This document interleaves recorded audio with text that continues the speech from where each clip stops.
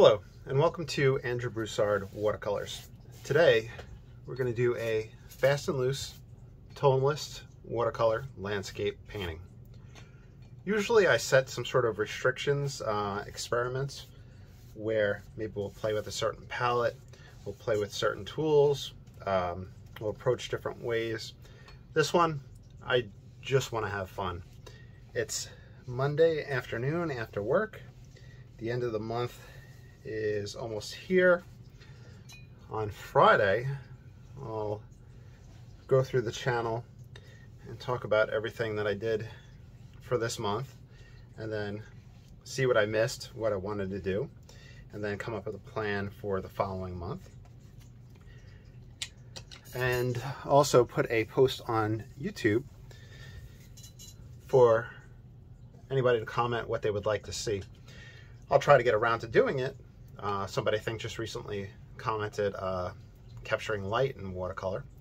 So I'm going to attempt those things and um, yeah, hopefully that'll happen next month, but I'll talk about that all Friday. Today is just about painting and having fun. So materials, we have a quarter sheet of Stonehenge Aqua. I just saturated it with the large Ron Ranson Hake brush.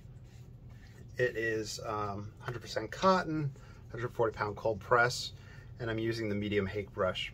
And this has been used for quite some time, so it's really um, bristly and old, and it's fantastic.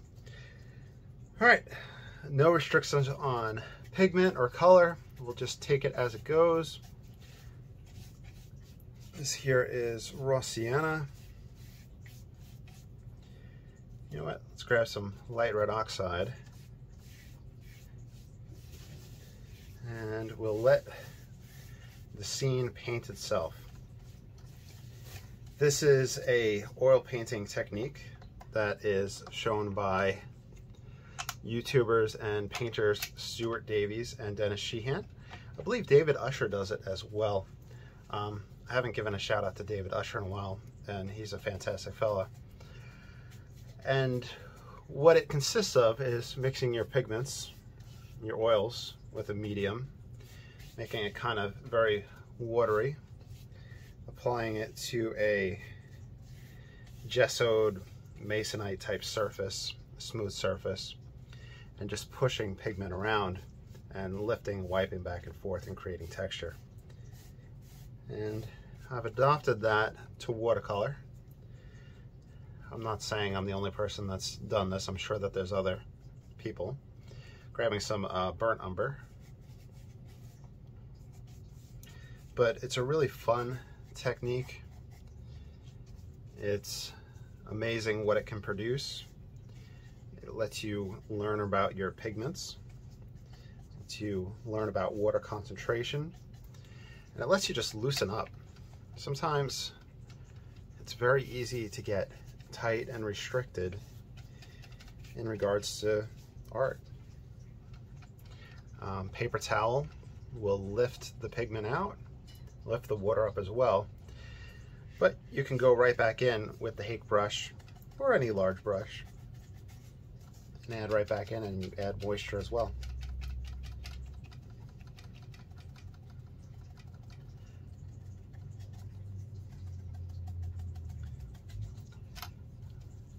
Two days ago I put up a video, um, or was it yesterday? It was um, a toy camera photography that I had done, 35 millimeter. And I set up a little dark room in the bathroom. Let's grab some yellow ochre. We're just playing. And did some darkroom prints and just did a quick film talking about it. And I was telling my friend uh, Chris about it, my really good friend. I've known him since middle school. I thought it was elementary school, but he said that we didn't go to the same elementary school. But anyway, I was talking to him and I was telling him about that video where it was a toy camera and I was just very um, kind of vague with what I had used. Like I wasn't specific about the film that I used. I was very relaxed with the development of the film and pretty relaxed with the paper that I used and the printing. And the purpose of me telling this story is that I had done darkroom printing in college. I never did it at home. I'm gonna grab some burnt umber. And doing videos like that and approach, approaching in that fashion, there's a term that gets used um, called gatekeeping, where sometimes things are made unnecessarily difficult and it's made to, I don't know, sometimes the people are just kind of showing off and um, a wonderment and uh, maybe it costs hundreds hundreds of dollars and years of practice. I'm gonna grab some ultramarine blue. But in all seriousness, the setting up a darkroom again and using a toy camera was relatively easy. And hopefully things like that show you all watching that it's very easy to pick up a watercolor brush and start painting. It's very easy to pick up a camera and start doing photography. Um, you know, it depends on how far you want to get into it. Pick up a pencil and draw. Go and buy some flowers and plant them for the season. You know, sure you have to water them, but do those plants, and let me know if I'm wrong in the comments, do those plants need that very, very specific soil, or can you get away with some of them? I know orchids are very, um, you have to be really careful with orchids growing them, but I can't imagine it'd be to the point of stress. Yeah, Hammy. Yeah, we're talking about making art accessible to everybody. What do you think, Hammy? Any any input? Yeah, I agree. Hammy is such a sweet cat. Grab some um, umber again. So, looks like I'm creating a tunnel type scene. And we're gonna have trees on either side. I just added some texture into it. We'll have the light come through. And I'm just using the paper towel.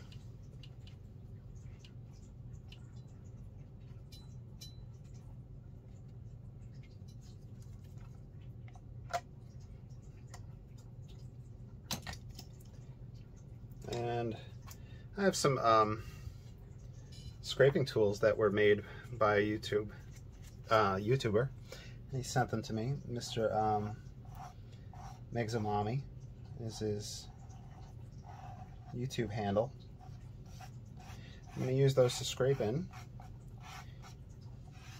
You can use a card. Um, the rounded edge, the sharp edge, everything on a card works great. Back of a brush. Just experiment and have fun.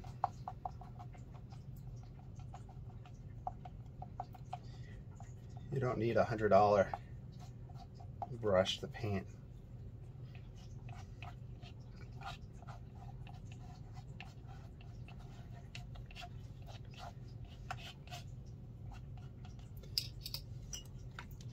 Let's grab the silver black velvet, the number one rigger. I'm gonna go wet and wet, add some background trees and trunks.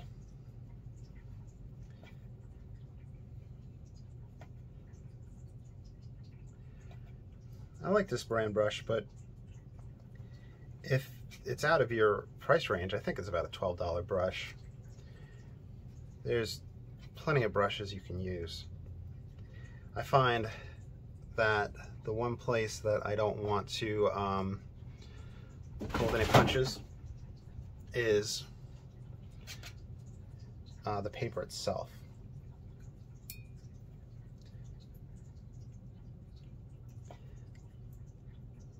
And for me, the paper is important because of the quantity of water that I use, the back and forth that I use with the paper towel and it could just really hold up to it. But find what works for you. I'm gonna grab some Payne's Gray. Um, pretty weak on the palette with that. We must have used it up last time.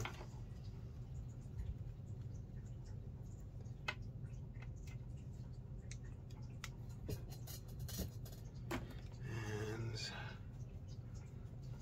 grab this.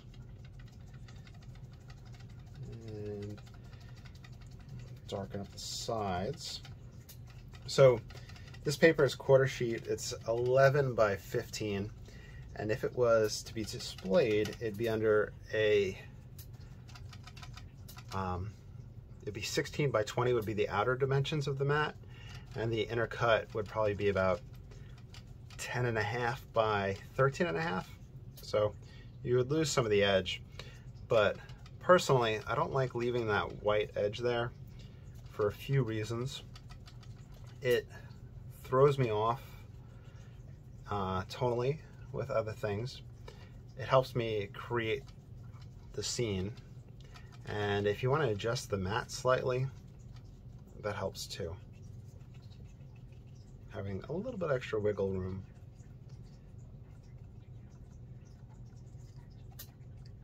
I used to like to um, tape the edges and tape my paper down. It's something that I just completely avoid now. I might use it with a pen and ink sketch with studies like that. It adds a really nice border um, within the mat itself. But with watercolor, matting, uh, taping down the edge, since I paint wet and wet and everything gets soaked and starts to buckle, that taped area doesn't receive the water and that just causes huge issues for me. One tape that has been recommended quite a bit though, if you are looking for tape, is the frog tape. That's supposed to be really, really good. Do a little opening here, block off the shadow here.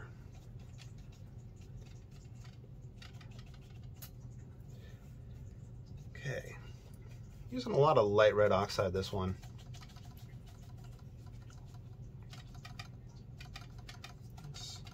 Get a little bit of foliage. And we'll bring some trees closer at a later stage.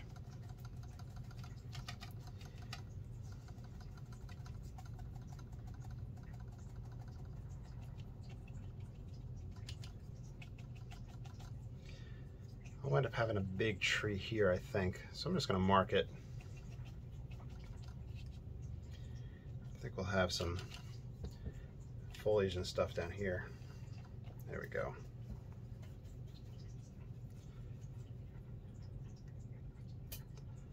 Ultramarine blue into the light red oxide.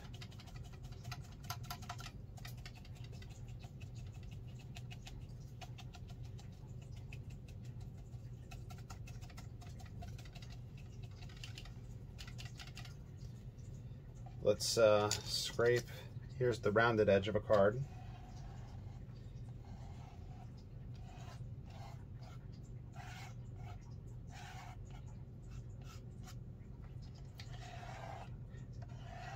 The rounded edge, or any rounded edge, will push the pigment out the way and you'll get more of a wider mark. If you use the sharp edge, sometimes it backfills. We may be past the point of backfilling though, which is a shame. The backfill adds a really nice uh, kind of just tonal contrast. All right, number one rigger again. You can see how this is drying quite a bit. We do have some areas of pigment that are wet. Oh, and of course you are welcome to follow along with any of these videos and you have my express permission to sign your name to anything that you do when you follow along with us and um, and sell it. I want you guys to succeed have fun, have money for art supplies, etc. If you want to support this channel, simply liking and subscribing really helps out. Also commenting um, questions, anything like that helps um, the channel grow and I really enjoy the people that I'm meeting through YouTube. If you want to support financially for art supplies, etc., I have the Patreon and uh, various donation links down below. I think I might actually have to order more paper soon, so that would be very helpful. Okay, so adding some depth in the trees here.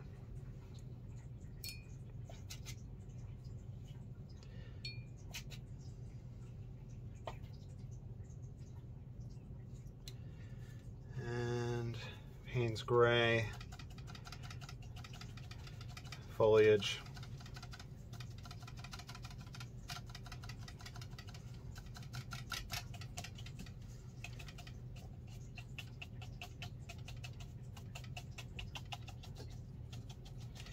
Bring a little bit of that brush effect over for overgrowth. And I have the paper towel to pull out texture as well. Just be careful of the stamping effect, meaning uh, the repeated pattern that could take place. Same thing with a hake brush.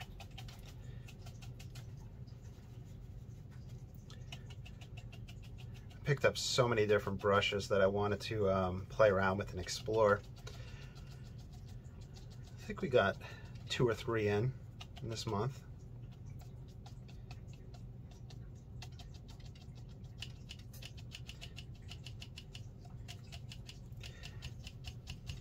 Oh, and um, the scraping tools that I had mentioned, uh, Mr. Megzamami was talking about maybe having a raffle giveaway with these. So let me know down below if you'd be interested in something like that.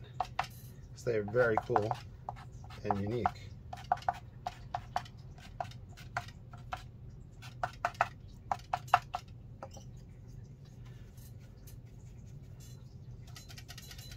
But I will say, and nothing against him, it felt great cutting up a credit card.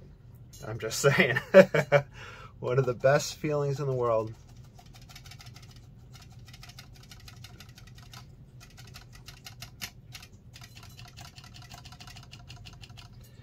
All right. I'm not even to do any drawing off yet.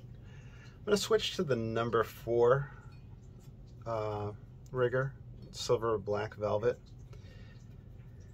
reason I'm doing so is that it just holds more pigment for me in one go and sometimes it's just easier to throw trees in. This is a mixture of umber and mainly Payne's Gray.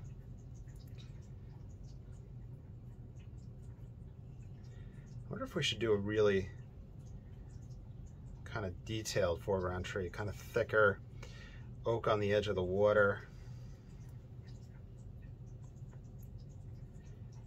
You know, we have so many oaks down here, but I don't know if they grow right on the edge of water. I know we have one called water oaks, but I don't know why. I'll have to ask Matthew Clemens that. He's one of the admins.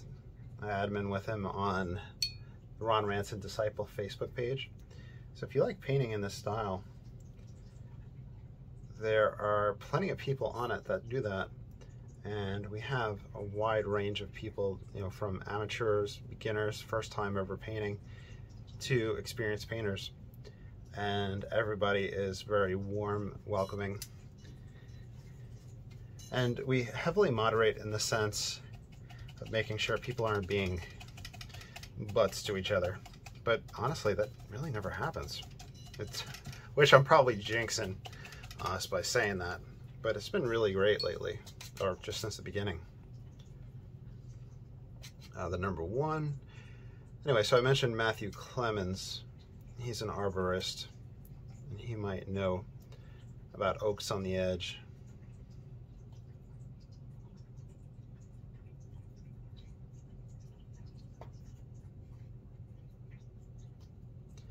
But honestly, just paint what makes you happy.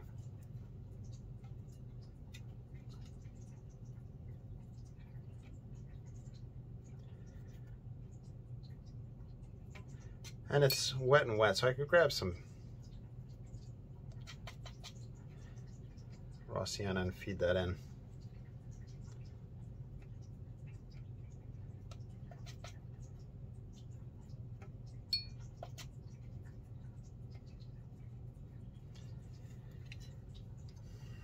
I think at the end, I was talking about having a tree branch foliage here. Let's see if I can start getting that in place. So we have burnt umber, we have ultramarine, and we have Payne's Gray.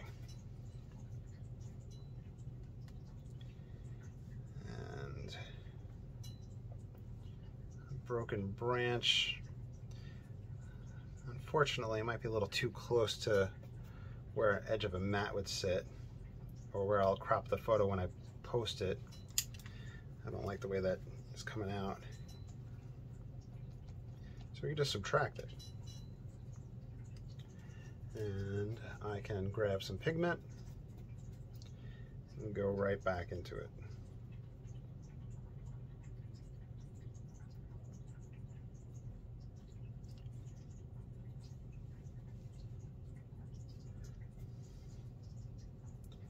All right, there we go. And it's gonna have shadow, darker side, and we'll come back in later on with darker pigment. Create a little bit of foliage off of it. This kind of sets the scene offset a little bit rather than making it too symmetrical. Branches.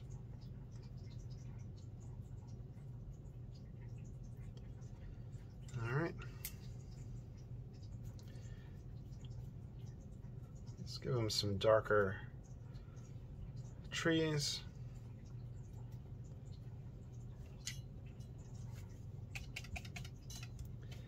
Let's grab some raw sienna and Payne's Gray.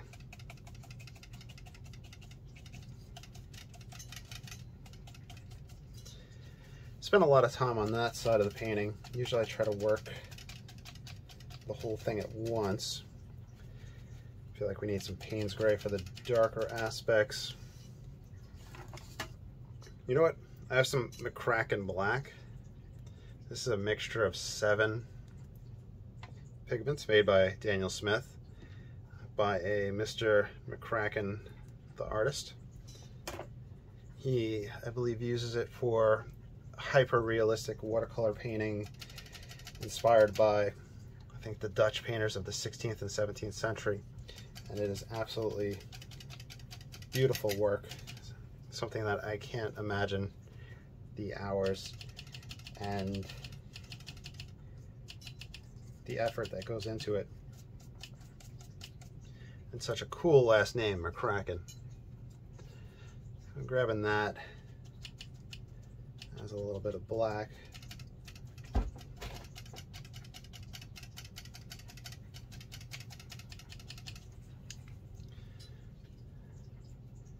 All right. Let's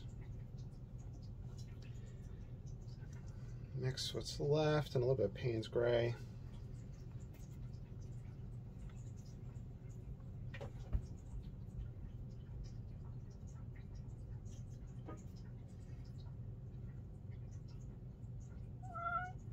Yeah, Hammy. What's up, dude? I'll be done in a bit. Then I'll go hang out. Last night, started watching uh, Queen's Gambit on Netflix. I think it's been out for like probably a year or two now. And my friend Bill has mentioned it quite a few times. And I figured I would watch it. So I'm checking it out, and it's good. I don't know how many episodes there are. I think it's just one mini series.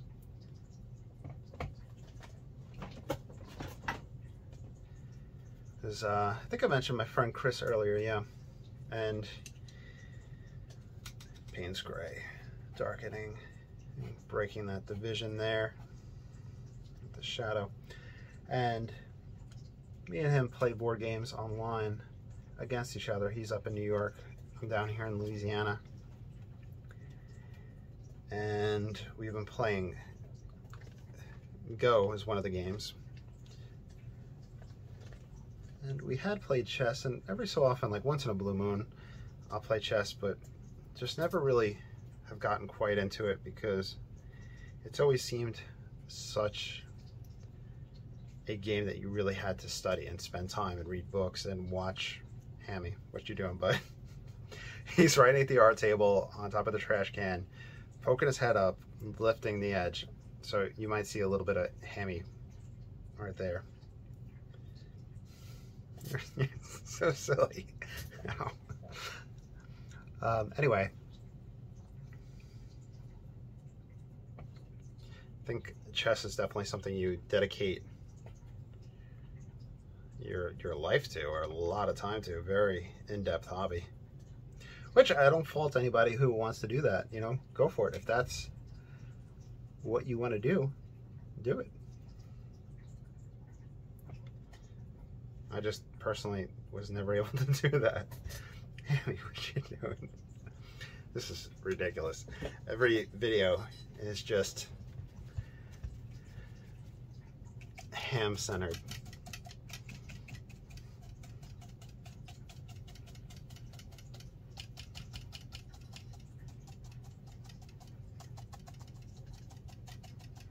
Alright, just bringing out foliage around that foreground let's see. I'm gonna grab that tool, get a few lines scraped in. Since I paint flat, I, um, oh, we have light glare there, I'm sorry. I almost forget about that. Anyway, since I paint flat, sometimes I have to stand up to really see the whole picture. It has its pros and its cons. Uh, find out what works for you. I'll do oils upright. Uh, watercolor, since I'm going so wet and wet, for me it kind of pours down the middle and I'm not really the biggest fan of that uh, motion. I think I might do some foreground trees. Let's pause, we'll do a dry off and we'll see how it looks. It's relatively dry, slightly damp, but what I want to do now, I made the executive decision that there is going to be a slight experiment. I know I said I wasn't going to experiment, but I'm going to put out some of the McCracken black. And I'm going to play with that as a black accent. If you're following along, you can, of course, grab any pigment you want. Um, you can mix your dark from ultramarine and uh, burnt umber. This is just me out of curiosity to see how it goes. You can use lamp black, etc.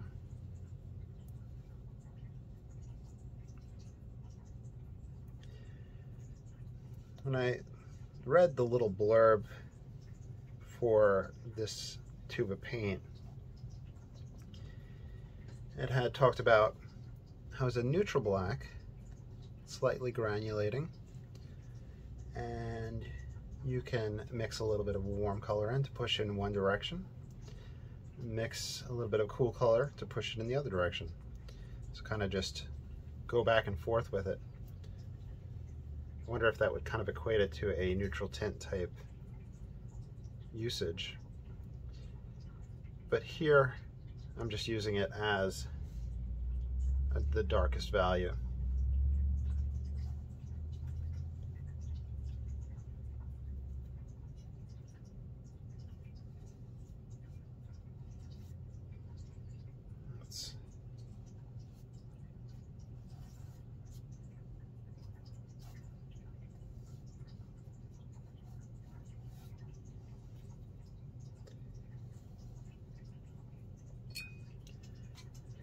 And one thing that you just want to be prepared for and watch out for and look for with pigments and paints is when using them at what stage they might start lightening up, time they might get dark. Um, we're in the kind of dry brush stage right now. So we'll see what happens with it.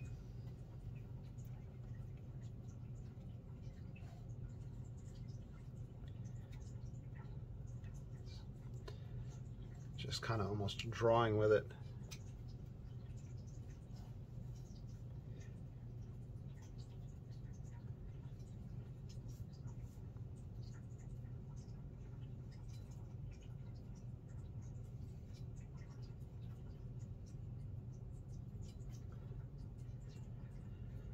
and one of our painting buddies, Colin, his wife have been under the weather, so I hope they feel better.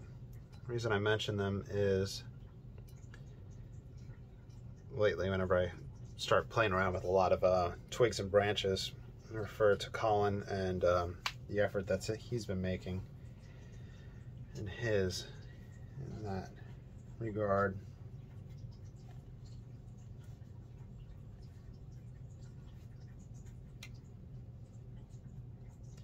We'll do a dry off in a moment. And we'll see how much, if anything, we got out of that.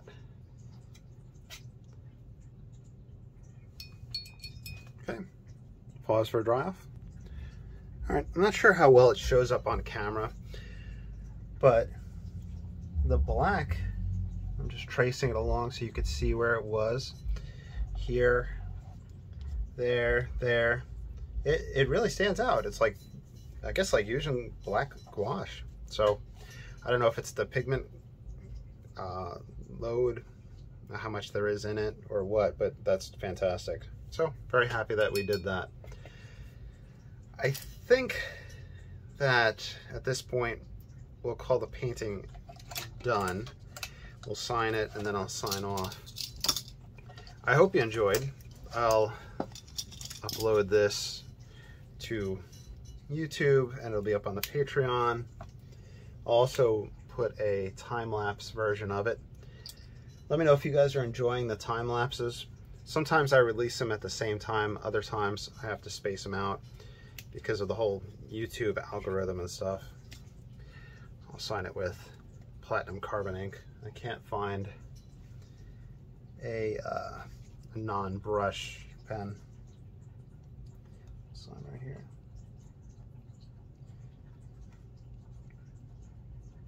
This is a Noodler's Boston Safety Fountain Pen where the nib resides within the ink. And my friend picked it up once and opened it up. And if you don't have it, out. You pour ink everywhere. Okay, I hope you had fun, and I will talk to y'all soon. Have a great day. Bye.